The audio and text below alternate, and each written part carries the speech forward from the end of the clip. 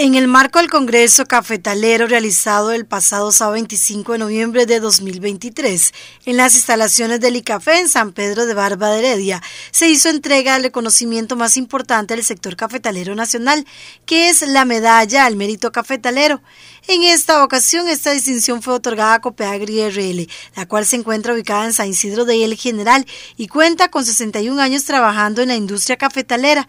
La medalla al mérito cafetalero es una distinción que la industria cafetalera costarricense entrega todos los años desde 1989 con el propósito de exaltar los méritos de las personas físicas y jurídicas que han aportado grandes beneficios al sector y que están dedicadas en esta actividad.